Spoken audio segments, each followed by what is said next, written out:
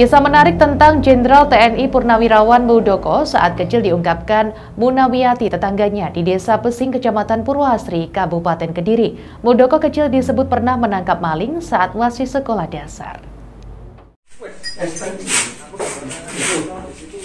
Es teh apa susu? Kisah menarik tentang Jenderal TNI Purnawirawan Muldoko kecil diungkapkan Munawiyati tetangganya di Desa Pesing, Kecamatan Purwasri, Kabupaten Kediri. Perempuan berusia 67 tahun itu masih ingat betul bagaimana Muldoko kecil yang disebutnya sebagai anak yang baik dan pemberani. Muldoko kecil menurut Munawiyati saat itu pernah menangkap seseorang yang dicurigai sebagai maling. Pria mencurigakan itu ditangkap Muldoko kecil saat berada di area persawahan. Saat itu, Muldoko diingatnya masih duduk di bangku sekolah dasar. Sementara pria yang diduga maling itu merupakan orang dewasa. Oh ya bocah meneng gak aneh anu niku, Pak Mul niku. Gini ku enten maling-maling dicowok ke kewempet gak sih? Sirahe kewempet kan Pak Mul. Maling nopo niku, Bu? Alah nggih gitu kok nggih wong jeneng sampe maling. Ambek busuk-busuk teng kebon ngoten lho.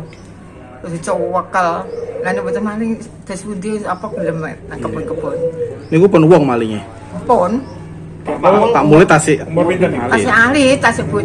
Ya gak salah kas SD kas papat. Oh, kok nyekel maling kok saya jawab. Nggih.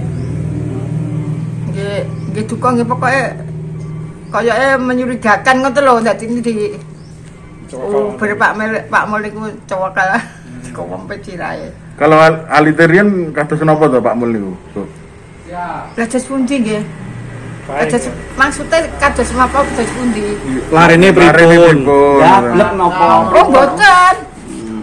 Pak Mul Pak Mul mboten jablek anu napa niku setia kan tang sepuh ngoten. Kadang sepuh niku nggih remenane sembayang, wiritan ngoten niku. Untuk diketahui Muldoko lahir dan besar di kampung ini pada 8 Juli 1957. Dia bungsu dari 12 bersaudara dari pasangan Mustaman dan Mas Fuah. Sejak remaja Muldoko sudah terlihat sebagai pekerja keras. Dia membantu ekonomi keluarga dengan bekerja sebagai kuli batu di sungai setempat. Kegigihan Muldoko juga terlihat di dunia pendidikan. Saat duduk di bangku sekolah dasar, ia rela berjalan kaki menuju sekolahnya di SD Negeri Papar yang berjarak sekitar 6 km.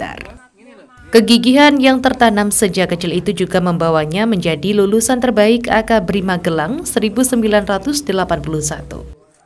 Dari Kediri, Masyari Almir melaporkan.